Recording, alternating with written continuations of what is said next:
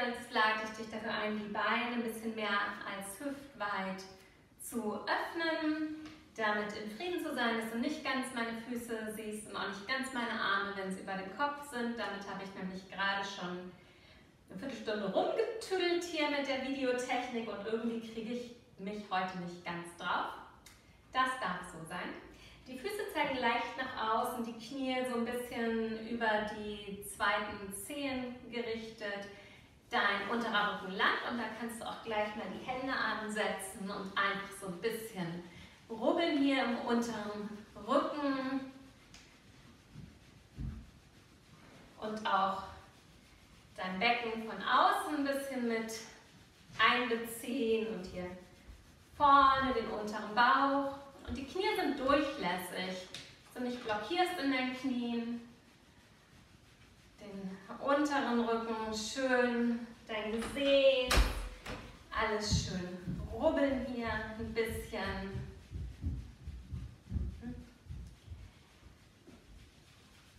Genau, und dann kannst du auch mal dein Brustbein ein bisschen auf und ab massieren, rubbeln, ruhig ein bisschen kräftig so.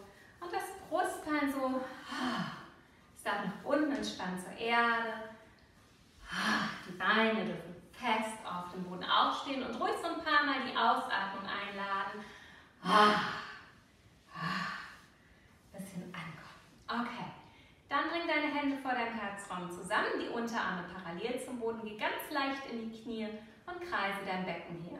Vielleicht willst du die Beine noch ein bisschen weiter öffnen. Der Oberkörper bleibt zentriert.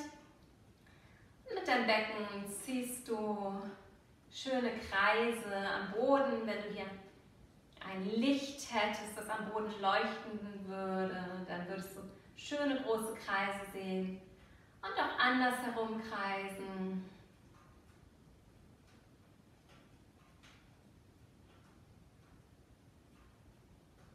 Mhm. Und dein Becken mal von vorne nach hinten bringen.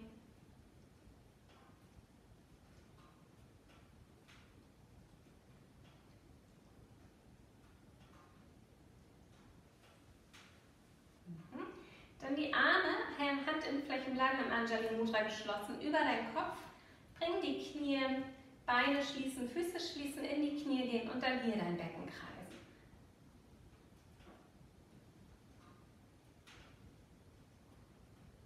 Zur Einrichtung wahrnehmen. Wo bist du heute Morgen ganz frei? Wo fühlt sich lebendig an und offen in dir? Und wo vielleicht auch blockiert und andersherum kreisen.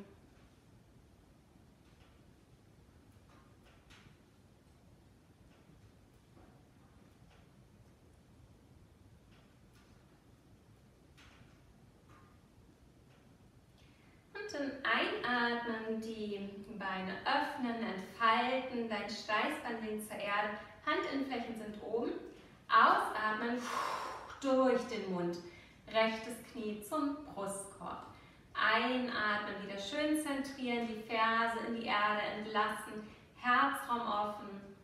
Ausatmen, linkes Knie zum Brustkorb, Schultern sind unten. Einatmen, Handinnenflächen offen. Ausatmen durch den Mund, rechtes Knie zum Brustkorb. Einatmen, wieder die Arme öffnen. Ausatmen, linkes Knie zum Brustkorb. Einatmen, öffnen. Ausatmen, rechtes Knie. Jetzt hältst du die linke Hand am rechten Bein und öffnest deinen rechten Arm nach hinten ich zeige es dir mal von der Seite, auch damit ich mir nicht meine Hand am Ofenrohr verbrenne. Genau. Dein Steißbein ist verankert mit der Erde. Du willst Stabilität für diesen Tag, dich mit der Erdkraft verbinden, dir Qualitäten wie Vertrauen, Geborgenheit, Sicherheit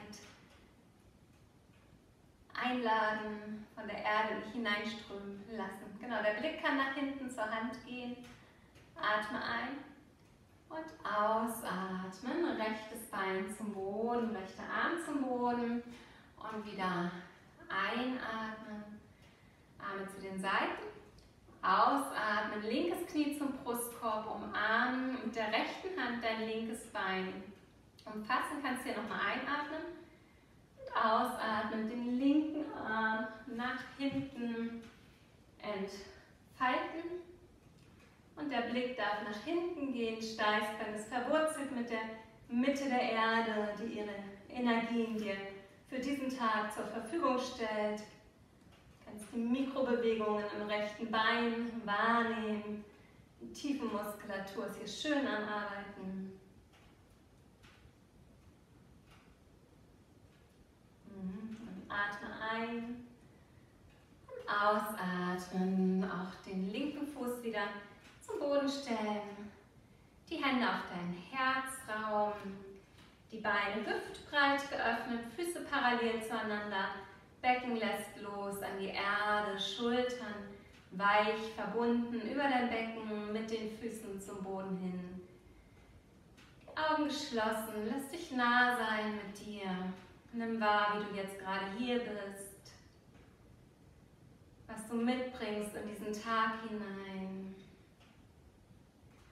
Lass deine Ausatmung ins Becken, in die Beine und in deine Füße fließen.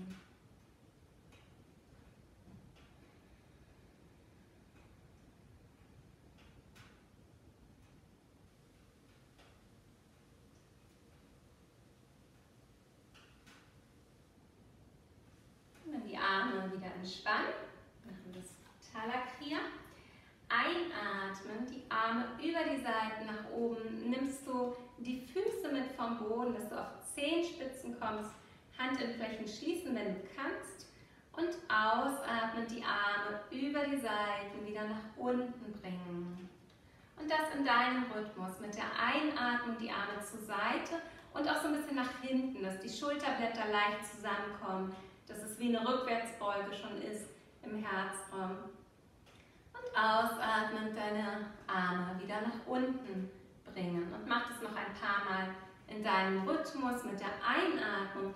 Kannst du eine Qualität einladen für diesen Tag, die dich unterstützt. Und ausatmen, loslassen, was du nicht mehr brauchst, was du abgeben willst. Einatmen, einladen, was zu dir kommen darf und ausatmen, loslassen, wovon du weißt, es reicht, es darf gehen. Und einatmen, dich nochmal öffnen für das Neue, was da kommen darf, das, was du vielleicht auch in diesen Tag legen möchtest. Und ausatmen, wieder nach unten kommen. Dann einatmen, nur den rechten Arm heben, Handinnenfläche zeigt nach innen. Ausatmen, linke Hand geht nach unten, rechter Arm zieht so ein bisschen nach oben. Das heißt, wir gehen nicht ganz so rüber ins Kona Kriya, sondern linke Hand nach unten und eher der rechte Unterarm nach oben zur Decke. Ich weiß nicht, ob du meinen Arm sehen kannst, aber du kannst es genauso für dich mit meinen Worten auch ausführen. Füße zentriert, lenk den Beckenboden leicht nach innen oben, Unterbauch leicht nach innen oben. Spür die Öffnung in deinem Körper. In der linken Seite willst du auch ein bisschen Öffnung haben. Atme ein und ausatmen, rechten Arm nach unten legen. Einatmen, den linken Arm heben, ein bisschen rund machen wie so ein Ballettarm. Ausatmen, Beckenboden ist aktiv, der rechte Arm zieht nach unten, der linke Unterarm nach oben, Füße zentriert, Fersen sind neugierig. Die wollen die Erde erkunden. Der Unterbauch geht leicht nach innen Oben Beckenboden ist leicht mit dabei. Atme ein und ausatmen, wieder zurückkommen. Einatmen, den rechten Arm heben, einfach lang stehen hier und dann ausatmen. Beckenboden mit dazu nehmen, linken Arm nach unten, rechten Arm nach oben. Wenn du nicht weißt, wie du den Beckenboden aktivierst, dann kannst du mal meine Beckenboden-Videos anschauen. Atme ein Ausatmen, Beckenboden lenkt nach innen, den rechten Arm zurückbringen. Einatmen, den linken Arm heben. Ausatmen, atmen, rechter Arm strebt nach unten, linker nach oben und so geschieht eine Öffnung in beiden Seiten deiner Wirbelsäule. Hm? Rechte Seite wird zwar auch komprimiert und da ist ein bisschen Länge und Raum. Atme ein und ausatmen, zum Boden kommen. Zur Erde, zum nach unten mit dem Winter. Hände vors Herz, Chakra und deine Beine ein bisschen weiter öffnen, Füße zeigen nach außen. Atme ein. Und mit der Ausatmung lass dich langsam nach unten kommen mit deinem Becken, dass du in eine tiefe Hocke kommst.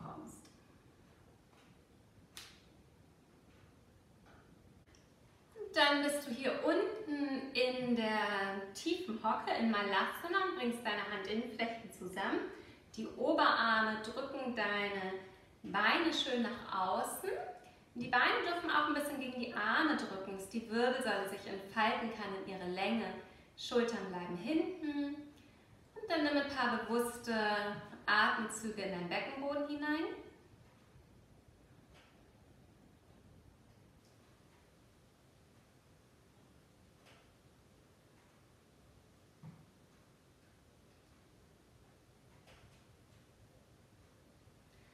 Dann die, den linken Arm vor dem linken Schienbein abzusetzen, vor dem linken unteren Bein und den rechten Arm nach oben bringen.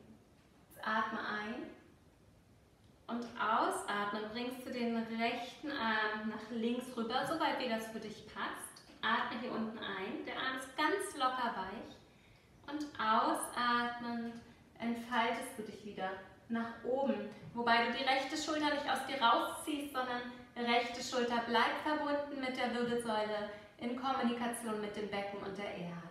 Atme ein und ausatmen. Wieder runter, einatmen und ausatmen. Wieder nach oben. Ein und ausatmen bringst du deinen rechten Arm vor dein rechtes Schienbein, lässt dich schwer werden zur Ecke, zur Erde. Wenn das Sitzen schwierig wird, dann setz dich mit deinen Fersen auf eine Decke oder komm auf Zehenspitzen. Oder auch eine Möglichkeit ist, dich einfach hinzusetzen hier. Mhm. Wähle deine Variante. Du möchtest es einfach haben und leicht. Rechte Hand am Boden, atme ein, ausatmen, linken Arm heben, ein aus, linke Hand zum rechten Arm ein und ausatmen. Ein, aus. Der linke Arm ist ganz weich. Atme hier wieder ein. Mit der Ausatmung beweg dich aus dem Brustkorb heraus nach oben. Atme ein und ausatmen. Hände wieder das Anjali Mudra nochmal lang werden. Kraft in dieser Haltung spüren, dein Becken spüren. Atme ein und ausatmen. Leg die Hände zum Boden. Atme ein. Ausatmen. Entfalte deine Beine langsam nach oben. Und zwar nur so weit, wie du die Hände noch gut am Boden halten kannst. Der Kopf kann jetzt entspannen. Es geht nicht darum, die Beine zu strecken. Wenn dir das natürlich leicht fällt, dann kannst du die Beine auch strecken oder fast strecken. Aber ansonsten kannst du hier auch einfach mit gebeugten Knien bleiben und die Erde spüren mit deinen Händen und deinen Füßen. Und dir bewusst machen, dass du auf der Erde läufst, den ganzen Tag. Sie ist es, die dich trägt. Mhm. Um dann dein Gesicht zur Erde zu bringen und dich zu setzen. Dein rechtes Bein beugst du, sodass das rechte Knie über deinem linken Knie ist und das linke Bein ist lang gestreckt. Du kannst deinen Sitzbeinhöcker nach hinten rausbringen. Aktives linke Bein mit der Erde verbunden. Vielleicht ist es für dich genug, die Hände am rechten Bein zu halten. Hier lang zu sein. Vielleicht magst du dich auf den vorderen Teil deiner Sitzbeinhöcker begeben und halte hier die Öffnung im unteren Rücken. Dich so ein bisschen hier hineinlegen. Der Kopf kann ein bisschen nach vorne kommen. Hm, mit der Ausatmung entspann die Schultern nach unten, schließ die Augen, kraftvolles linkes Bein.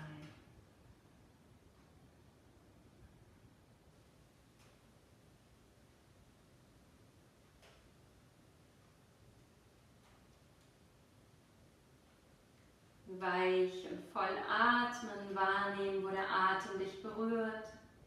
Und atme nochmal ein und aus Ausatmen deine Handrücken auf den Boden zu bringen und dich wirklich rund werden zu lassen. Der Kopf kann jetzt im Moment nach unten entspannen.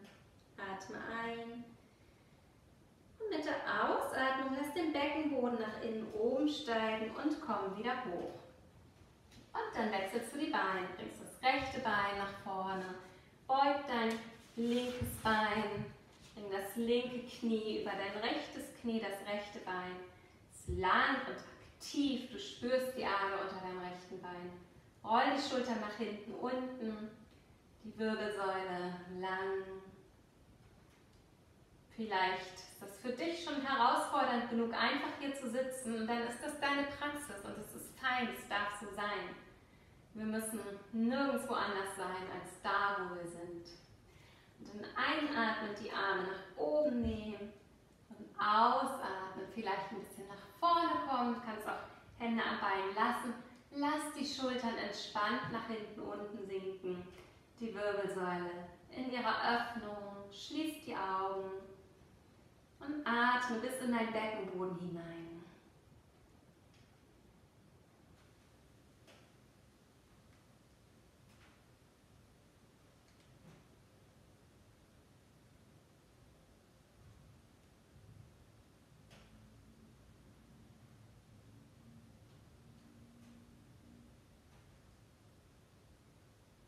kannst mit der nächsten Ausatmung die Handrücken zum Boden bringen und einmal rund werden.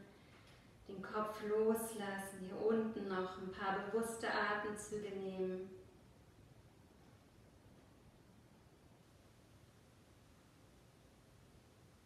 Und dann mit deiner Ausatmung lass den Beckenboden nach innen oben steigen und richte dich wieder auf um beide Füße vor dir zu platzieren, die Hände hinter deinen Körper zu bringen und du kannst mal schauen, ob das für dich gut ist, die Fingerspitzen zum Körper zu bringen oder von dir wegzulegen und dann kommst du mit der Einatmung nach oben und lässt dabei auch langsam den Beckenboden nach oben steigen. Du kannst dir auch vorstellen, dass du den Bauchnabel nach innen saugst.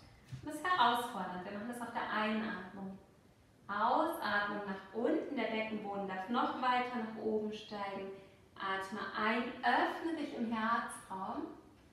Und mit der Ausatmung steigt der Beckenboden nach innen oben und du entspannst dich nach vorne. Fußsohlen sind geschlossen, Knie nach außen. Und es kann auch sein, dass du einfach hier bleibst. Schau, wohin entlässt dich dein Körper heute Morgen. Dann atme hier ein Ausatmen, lass den Beckenboden nach innen oben steigen, komm wieder hoch, setz die Hände hinter deinem Körper auf, Füße parallel zueinander, einatmen, die Vorderseite des Körpers öffnen, die Schultern dehnen, ausatmen, der Beckenboden steigt sanft nach oben, einatmen, den Herzraum öffnen hier, Hände in den Boden aktivieren. Ausatmen, steigt der Beckenboden nach innen, oben und du kommst nach vorne, unten, entlässt dich hier in den Schmetterling. Atme hier unten ein, ausatmen, steigt der Beckenboden nach innen, oben, setz die Hände hinter dir auf, Füße stabil. Und einatmen, wieder heben und dann bleib hier ein, paar Atemzüge lang.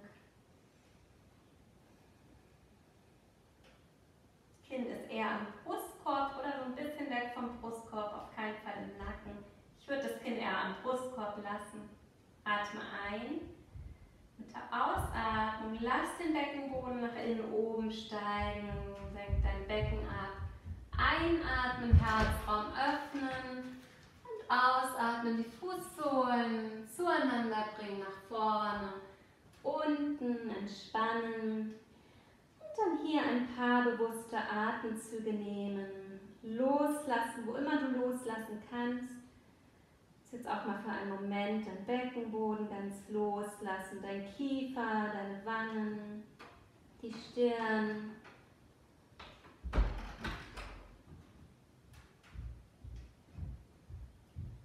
Und atme ein. Mit der Ausatmung steigt der Beckenboden wieder nach oben und hilft deinem Oberkörper sich aufzurichten. Und dann kannst du über die Seite zum Liegen kommen. Deine beiden Knie zum Brustkorb bringen, umarmen. Dich in deinen Rücken fallen lassen, entspannen.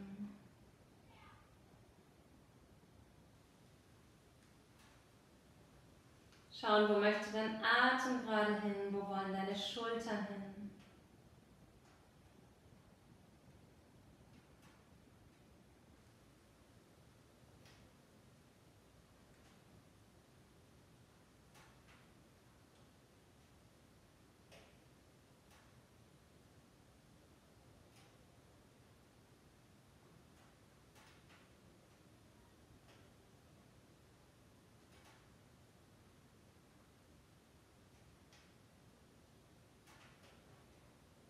Ein bisschen von links nach rechts zu wiegen, deine Nieren auch aufzuwecken hier.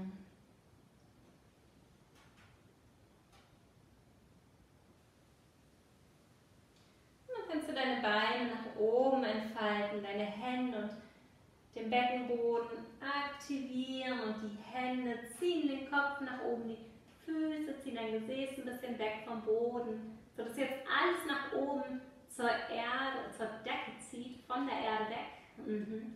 Und der Bauch geht eher nach innen dabei. Das ist wirklich tricky. Spür die Kraft in deiner Mitte. Atme ein und ausatmen. Langsam wieder zum Boden kommen. Nochmal Apanasana, die Knie umarmen, die Schultern fallen nach hinten. Um dich dann hineinzulegen in deine Entspannung, in ein Loslassen, ein bewusstes, ah, jetzt gehe ich gleich in meinen Tag und ich lasse los.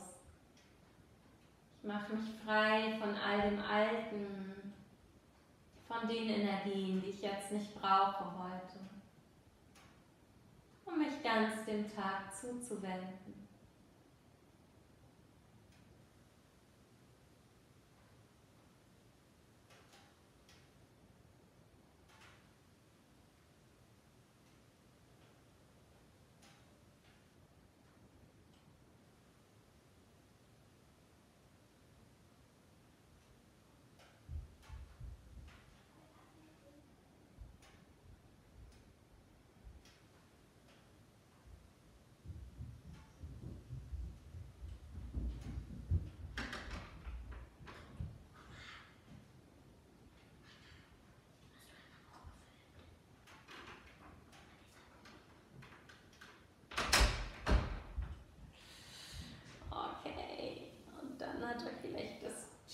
Türen schlagen, von meinem Sohn auch schon aus der Entspannung geholt. Ansonsten kannst du dich jetzt anfangen zu regeln und zu strecken.